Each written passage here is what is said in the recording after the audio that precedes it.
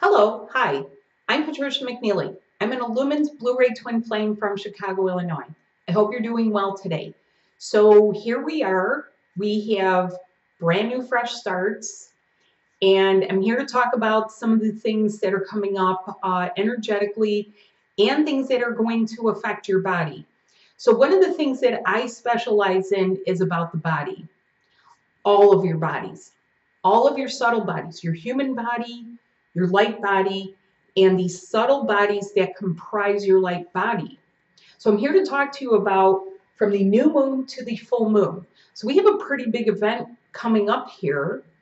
Um, it is a lunar eclipse. It's being called the super full blood wolf moon. That's the way I've seen it out there. And yes, it's a lunar eclipse, so the moon does appear reddish if you're able to see it. If you've never seen a lunar eclipse, it's worth seeing. It's, you know, quite an event. It's, you know, fun to see the moon um, alter the color as, you know, the shadows pass between. Okay. But the whole idea of why does the uh, eclipse have such a bearing on us? Okay. Number one, the moon itself has bearing on your body.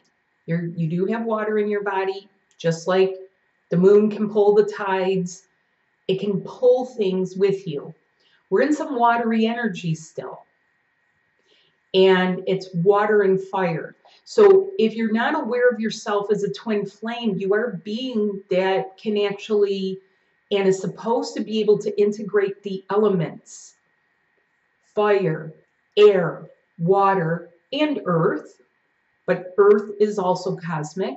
So this year is for a lot of the cosmic levels of you. So just like I spoke about in my last uh, video, the cosmic level parts of you are coming into play.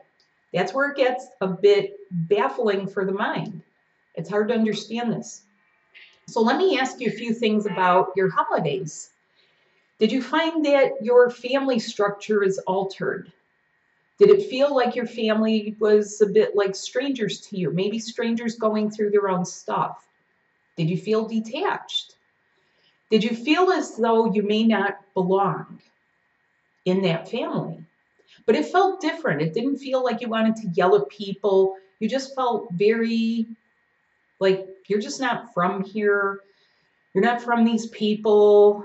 That's actually not a bad thing if you felt like that. But it can be very strange and it can be feeling very um, alienating for you. It can make you wonder where your life is. So this first quarter of the year is going to be about getting your life structure going. It's going to encompass all areas of your life. I go into much more detail about this in my webinars. But we will start by saying from the new moon to the full moon, these small changes bring big results. What does that mean?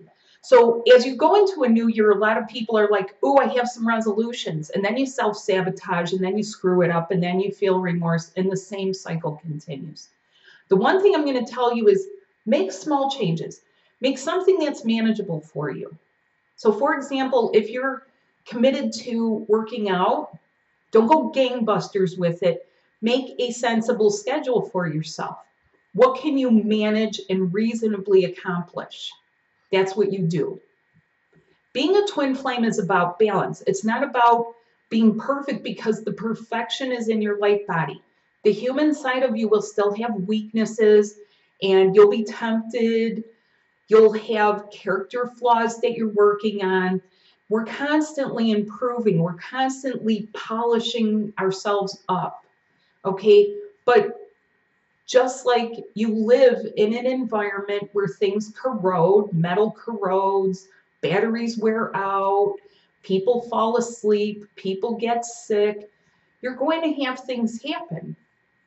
That's a part of living here. You have to cut each other some slack. You're you still have a human side, and your twin does too. So I talk about that in my classes as well. How to how do you balance this? How do you balance these multidimensional sides of yourself? Well, part of it is going to be You need to isolate for growth. In order to grow, you have to get away from people. Sometimes it means get away from their opinions or their pressure or their beliefs and focus on yourself. If you know yourself, and some people don't know themselves, but part of this is get to know yourself. Get to really know yourself. Okay? I'm going to say, I'm going to jump over here. Are you seeing what needs to be cut? And do you know what your triggers are? What happens when men feel their triggers? When men feel their triggers, the first thing they do is feel them. Okay? They usually take action. What happens when women feel triggers? They sometimes deny them, talk themselves out of it. So men and women approach it differently, and you're usually socialized with a different approach. Men shove it someplace, women set it aside, and yet your light body is not going to carry these patterns into your physical union.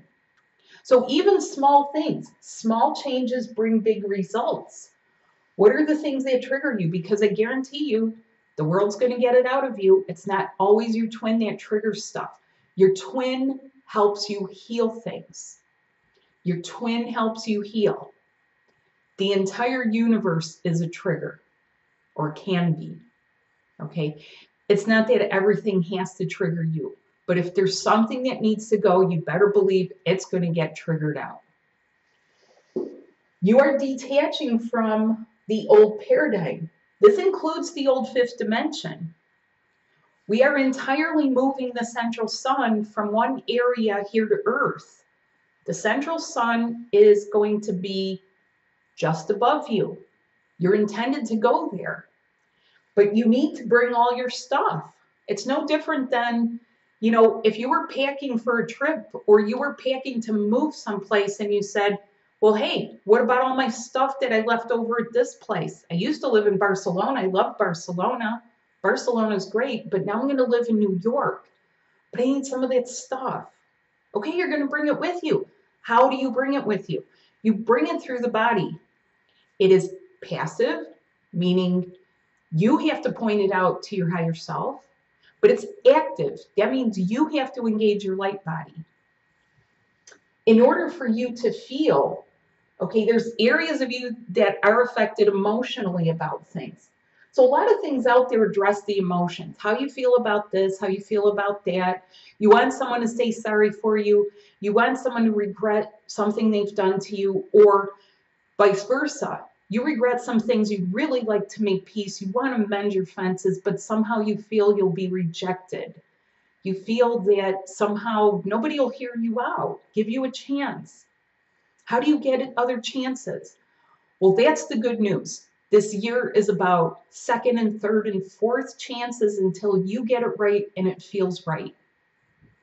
And yes, that is absolutely your twin flame union because love doesn't hold grudges. Love doesn't demand, love doesn't keep score. People are coming out of relationships where all those things take place. Let me ask some of you men. This is a question for men. Do you ever feel like you get punished? That you can never do anything right? No matter what you do?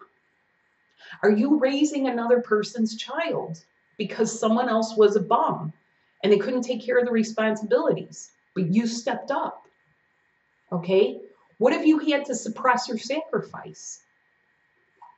So there's a lot of things that get overlooked about what each, you know, each side is doing. Women, what irritates you? What annoys you? What have you had held inside that's been there since the time of a child? What is your body bottling up? Because I'm going to tell you, your lymph and your spleen, part of how you know this is if you crave sweet, you want that sweetness of your union in your life, but you cannot let your spleen become inflamed. So you have to elevate these parts of you. How do you do it? Well, I'm here to tell you a few things. You have to have new proper pain management. A lot of us have had pain. A lot of us have had what I would call cosmic level pain. You've had oppression, you've had fear, you've had anxiety, You've had financial woes. You've had people that have saddled you with stuff. their problems, their children. You've had other people. You can, um, a lot of these things can affect your sleep pattern. You are going into a time where what happens to your twin can and will affect you, and it will be a passive thing, meaning it's not going to be their habits. It's not going to be, although it can be, things like, will they get drunk and I felt the hangover? Does that ever happen to you, or has it happened to you? They were feeling all flirty, and I could feel it, and it was painful for me. But what happens when your twins needs to start healing? One of the big questions I get from people is, how is my twin going to get this? Well, I'll tell you this, it's not through conversation. They get it through your cosmic heart. They get it through the part that you share, which is parts of your light body. And this is where small changes will bring big results. So when you focus on small parts of you, parts where you want to stay connected with your twin, areas where you want to feel the sweetness of your love between each other and not the mind. Okay, this is not telepathy, it's not duality, it's you coming into unity. That's the real unity. People sometimes think unity consciousness is everybody being like a clone and you know going in the same direction. What you'll find is that people want variety. This person does that that is truly what makes the world spin is when people are expressing their love in ways that they feel. It's poetry it's design it's technology. So the things that you might find difficult are accepting that you know, there is so much of the body with this, and that it's not a separate part of you. Your body is not a separate part of you. Your light body is not a separate part of you. It's all you. It's all you. So your family structure will change. The things that trigger you will change. Pain management will change. A lot of people, when they've had pain, what do they do? Drink, drug, medicines, uh, some combination. Some people like to pick fights. What is it? Those things are not going to be carried forward into your union. They're not going to be carried into the new fifth dimension, that's for sure. So you you have to point to ways that these problems will be resolved. The problems get resolved actually through your light body. That is what I teach. So to help you with that, I have my second book out. My second book is out. This is book two. It is about the twin flame body and twin flame ascension and breath. Okay. In this book, I have a glossary of terms. So if you felt lost with what things mean, what is this? What is that? What are these words people are using? There's a glossary in there. There is explanations on what is going on, ascension symptoms, what to do about them. I have several exercises to help you get your light channels open. And there are several things that you will need in order to get yourself up and running and working with your twin flame ascension. There are specific ways to breathe and to get your channels open. When I talk about channels, the channels are the parts that circulate the love between you two, no matter where you are. And right now, a lot of people are very accustomed to it being just one area here. You know, it's telepathic. I can hear my twin, I hear things, you know, but that's limited. We're talking about a total body experience. We're talking about love that is beyond space and time. You have a cosmic love story that you're landing up here on earth and meeting each other and going back out again freely not tied to old things. Truly lovers who look out for each other.